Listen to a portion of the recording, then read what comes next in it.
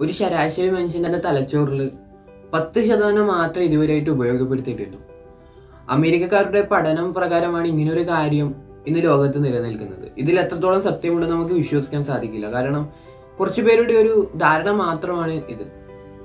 എന്നാൽ അതേ മനുഷ്യൻ തന്റെ തലച്ചോറിനെ നൂറ് ശതമാനം ഉപയോഗിച്ചാൽ എന്താണ് സംഭവിക്കുക?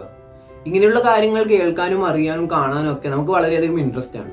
എന്നാൽ നമ്മൾ ഇന്ന് സംസാരിക്കാൻ പോകുന്നത് ഈ ഒരു കാര്യത്തെ ബേസ് ചെയ്ത് ഇറങ്ങിയ ഒരു സിനിമയെ കുറിച്ചാണ് രണ്ടായിരത്തി പതിനാലിലാണ് സിനിമ ഇറങ്ങുന്നത്. സിനിമയുടെ പേര് ലൂസി. ഏകദേശം പത്ത് ശതമാനം മാത്രം ഉപയോഗിക്കുന്ന മനുഷ്യന്റെ തലച്ചോറിൽ നൂറ് ശതമാനം ഉപയോഗിച്ചാൽ ആ ഒരു വ്യക്തിക്ക് എന്തൊക്കെ മാറ്റങ്ങളാണ് ഉണ്ടാകുന്നത് എന്നാണ് ഈ സിനിമയിലൂടെ നമുക്ക് വ്യക്തമായി പറഞ്ഞു തരുന്നത്. കണ്ടിട്ടില്ലെങ്കിൽ തീർച്ചയായും കണ്ടിരിക്കേണ്ട സിനിമ തന്നെയാണിത്. അധികമൊന്നും പറയുന്നില്ല. നമുക്ക് നേരെ സിനിമയുടെ റിവ്യൂയിലേക്ക് കിടക്കാം.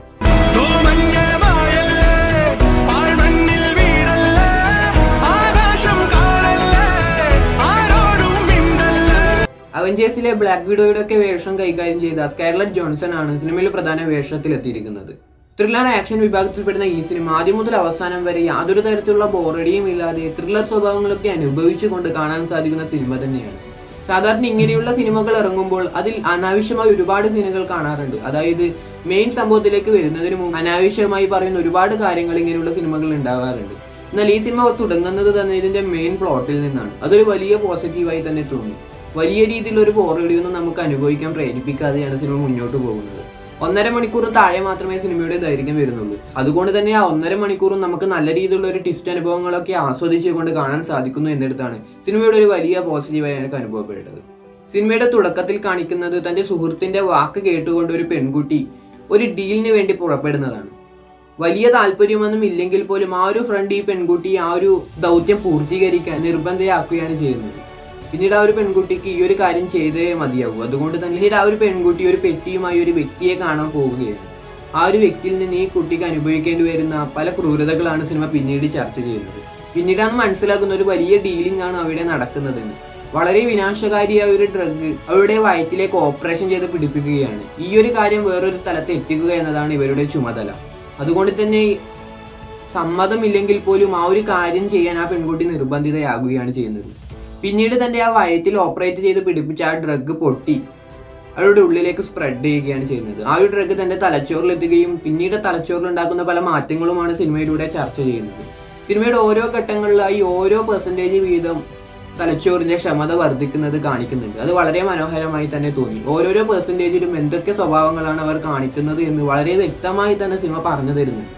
ഈ ഒരു കാര്യത്തിൽ എത്രത്തോളം സത്യമുണ്ടെന്ന് നമുക്ക് പറയാൻ സാധിക്കില്ല. എങ്കിൽ പോലും നമ്മൾ അറിയാൻ ആഗ്രഹിച്ച ഒരുപാട് കാര്യം നമുക്ക് ഈ സിനിമ പറഞ്ഞു തരുന്നുണ്ട്. അതും വളരെ മനോഹരമായി നമുക്ക് ആസ്വദിക്കാൻ പ്രേരിപ്പിക്കുന്നുമുണ്ട്. ഇങ്ങനെയുള്ള കാര്യങ്ങൾ പറഞ്ഞു തരുന്നത് എന്നതിലുപരി ഒരുപാട് ദൃശ്യ ദൃശ്യവിസ്മയം സിനിമയുടെ അവസാന ഭാഗത്തേക്കൊക്കെ എത്തുമ്പോൾ കാണാൻ സാധിച്ചിട്ടുണ്ട്. ഒരു പ്രൊഫസർ തന്റെ കുട്ടികൾക്ക് ഈ ഒരു കാര്യത്തെക്കുറിച്ച് ക്ലാസ് എടുക്കുന്നതൊക്കെ കാണിക്കുന്നുണ്ട്. ആ സമയത്ത് ഒരു കുട്ടി അദ്ദേഹത്തോട് ചോദിക്കുകയാണ് മനുഷ്യന്റെ തലച്ചോറ് നൂറ് ശതമാനവും പ്രവർത്തിച്ചാൽ എന്താണ് സംഭവിക്കുക എന്നത് അദ്ദേഹത്തിന്റെ പക്കൽ ആ സമയത്ത് അതിനൊരു ഉത്തരം ഉണ്ടായിരുന്നില്ല. പിന്നീട് ആ ഡ്രഗ് ശരീരത്തിൽ സ്പ്രെഡായ പെൺകുട്ടി അദ്ദേഹത്തെ വിളിച്ച് തനിക്ക് പറ്റിയ കാര്യങ്ങളൊക്കെ പറയുന്നതും പിന്നെ ശാസ്ത്ര ലോകത്ത് ഈ ഒരു പെൺകുട്ടി എന്തൊക്കെ മാറ്റങ്ങളാണ് ഉണ്ടാക്കുന്നത് എന്നൊക്കെ സിനിമ വളരെ വ്യക്തമായി തന്നെ പറഞ്ഞു തരുന്നുണ്ട്. കാണാത്തവർ തീർച്ചയായും കണ്ടിരിക്കേണ്ട സിനിമ തന്നെയാണ്. ജീവിതത്തിൽ ഒരിക്കലെങ്കിലും കണ്ടിരിക്കേണ്ട തരത്തിലുള്ള ഒരു സിനിമ തന്നെയാണ് ലൂസി എന്ന് പറയുന്ന സിനിമ. കണ്ടപ്പോൾ വളരെ നല്ല രീതിയിലുള്ള ഒരു എക്സ്പീരിയൻസ് ആണ് സിനിമ എനിക്ക് സമ്മാനിച്ചത്. നിങ്ങൾക്കും സമാന രീതിയിലുള്ള എക്സ്പീരിയൻസ് സമ്മാനിക്കും എന്നതിൽ യാതൊരു സംശയവുമില്ല. നിങ്ങൾ സിനിമ കണ്ട ഒരാളാണെങ്കിൽ നിങ്ങളുടെ എക്സ്പീരിയൻസ് കമന്റ് ചെയ്യാൻ മറക്കരുത്. സിനിമ കാണാത്ത ഒരാളാണെങ്കിൽ തീർച്ചയായും കണ്ടു നോക്കുകയും ചെയ്യുക. എപ്പോഴും പറയുന്നത് പോലെ തന്നെ എന്റെ ടെലിഗ്രാം ചാനലിൽ സിനിമയുടെ ഡോക്യുമെന്റ്സും മലയാള സബ് ഒക്കെ കൊടുത്തിട്ടുണ്ട്. വേണമെങ്കിൽ സിനിമയുടെ തമിഴ് ഡബ്ബും കൊടുക്കാം.